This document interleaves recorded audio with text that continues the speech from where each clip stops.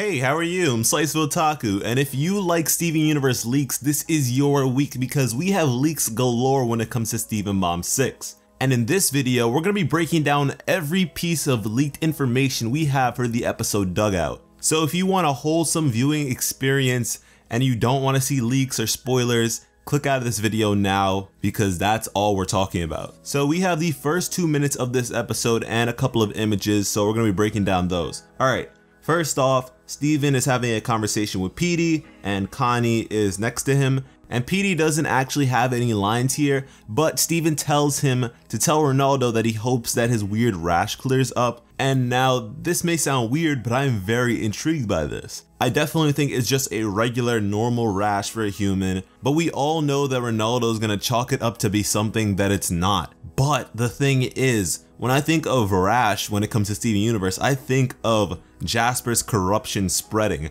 So if we get Ronaldo to talk about his rash, maybe we can have some more insight onto corruption and quite possibly how to cure it. I think that would be incredible, but definitely now is not the time to be talking about rashes. Maybe that'll be after all of the events of Steven Bomb 6, but yeah, there's no time to talk about rashes. Then Steven and Connie head over to a nearby bench to eat the bits, and they recount the events of the previous Steven Bomb. And this isn't anything new because we actually saw this in the promo videos for this bomb and we saw what happened in Steven Bomb 5 so it's nothing new here. Then we suddenly have a man with a megaphone yelling at Steven to drop the bits and this is quite clearly Connie's father, Mr. Maheswaran, and I'm kind of intrigued that he he knows that th those are the bits from a glance like Maybe this is a conversation Connie has with her father about Steven. Oh, he likes the fry bits or something like that. I'd hope that's the case because if he can tell that that's fry bits from all the way over there, he needs to be a, a legit detective. No more of the security guard stuff.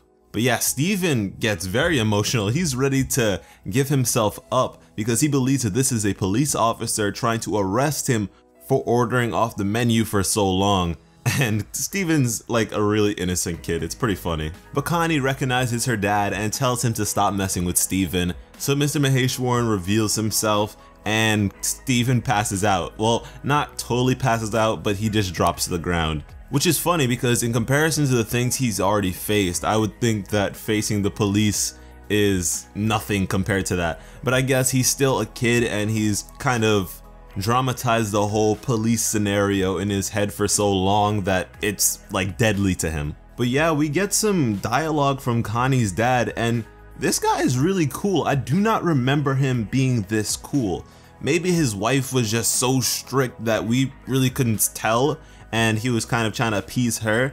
But the guy doesn't seem to be all that uptight. He actually seems really cool, like a really cool dad. And he actually calls Connie a swashbuckling swashbuckler, which if you don't know, a swashbuckler is typically a hero portrayed in European literature who uses a sword and prides himself on the code of chivalry, which is pretty much just like the standards for knights and stuff like that which is essentially what Pearl was attempting to turn her into in the episode Sworn to the Sword. So I'll pretty much take this as confirmation that Connie's dad knows that she uses a sword. And for a while now, we've known that her mom knows that she uses a sword, but until now, we haven't had confirmation that that information has been relayed to her father, which apparently it has, and he's cool with it, which makes me think he's a lot cooler than I once thought he was. And when he sees Steven pass out, he says that he's probably dehydrated from eating all that garbage. And he's joking here, but I'm curious what would happen if Steven actually went on a more healthy diet. I don't really think that they would do that for the show, but maybe it would be interesting to see Steven actually get fit for combat. But then we walk over to Mr. Maheswaran's car and Connie asks why he's in Beach City in the first place. And apparently he has a job out here and it was contracted by his private security company and then the clip cuts off. And we can sort of continue off of the images we get. And we have a kind of a profile shot of Mr. Maheswaran. Doesn't really tell us much, but he seems to be sort of on the fence against something. He's not necessarily angry, but he's raising a brow. He's like, hmm, And I think this is probably related to letting Steven and Connie on the job, you know, bring them with him, and his skepticism in this instance would make sense considering his job at a moment's notice can get dangerous, so to bring two children along with him may not be the best idea. But it seems like they convince him somehow, and I guess this job on paper doesn't seem that difficult, doesn't seem that dangerous, so he was like, alright, let me bring them on for the ride, make them feel special, and be that cool dad. Maybe Steven and Connie are like, hey, we can be your informants. We can tell you about Beach City because he may not know the ins and outs of the town, so why not? So in the next image, we have a night shot and they're all in Doug's car.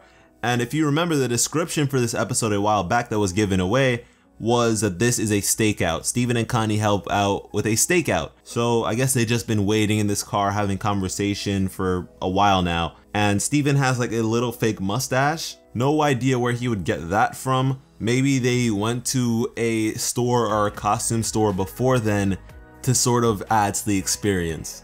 Okay, so in the next image, they leave the car and Doug is standing proudly in front of a broken fence and Steven is dressed up with his mustache and his hat, his green hat, and he looks like Luigi. I really like that because, you know, you'd expect them to go for the typical Mario, but no, it's Luigi all the way, man, the best brother. And this actually reminds me of some fan art I saw a while back, which had like a bunch of emotional moments for Steven, but Steven was replaced with Mario, and it was just, it was funny, but it looked really good as well. And Connie is also dressed up, and maybe this is a nod to something else, I'm not really sure because I don't exactly recognize it, but she looks pretty cool. But yeah, something strange definitely busts through this gate. This does not look like the work of a human. Everything is bent and broken and the lock is just like decimated. Yeah, no way a human did this. This is something gem related. In the next shot, we have Mr. Maheswaran busting into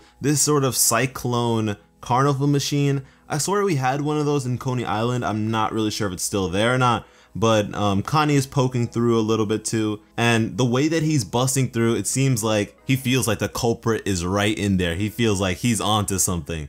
Then we have a shot of Steven in there. And this thing is on. It is spinning hard.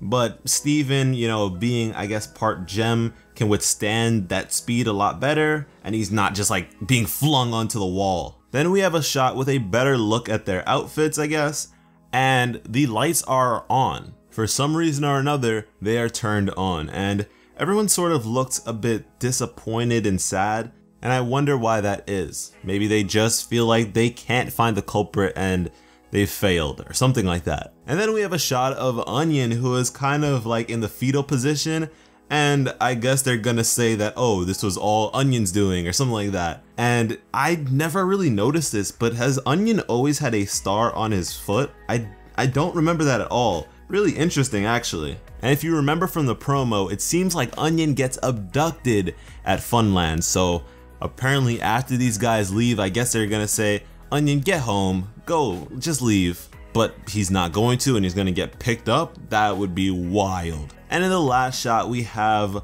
Mr. Maheswaran, I guess being bashful, he's smiling and just rubbing his head. Maybe he thought that this was some big time stuff, but he just sees a kid and he's like, ah, it's nothing. But yeah guys, that's all the leaks we have for the episode Doug Out so far. I hope that we don't get any more, honestly. I don't want these episodes to be totally ruined. But hey, if you want to stay up to date with my breakdowns of these leaks, make sure you subscribe and click that notification button because I'm gonna be just going through all of them. Thank you so much for watching and have an awesome day. I love you.